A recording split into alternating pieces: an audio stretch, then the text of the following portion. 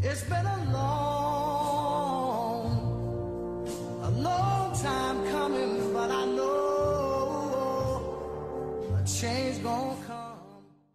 In today's world, social justice is a hot topic. But for over 50 years, a small radio station has been at the forefront of freedom and justice struggles locally and around the world.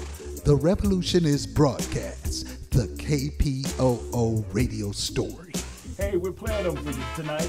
No CDs, no MP3 sounds, no computerized sounds. We're playing records, playing them back for you just the way they were heard on the radio back in the 60s. Records are alive and well, and the 60s will never, never, ever die.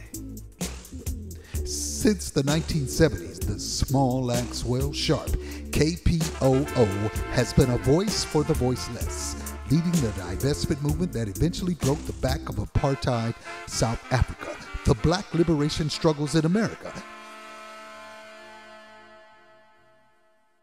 the Irish freedom struggle, one of the first big market media outlets to cover police abuse and brutality cases. KPOO also was at the forefront of making hip hop a global phenomenon, with Run DMC, LL Cool J, Chuck D, Too Short, The Beastie Boys, and others, all visiting KPOO during rap's infancy stages.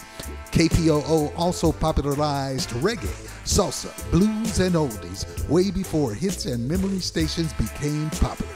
There has never been a radio station like it. KPOO, broadcasting live in San Francisco and on the internet around the globe.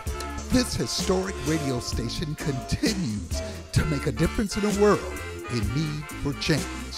The revolution is broadcast. The new documentary film, The KPOO Radio Story. Radio like you've never heard it before.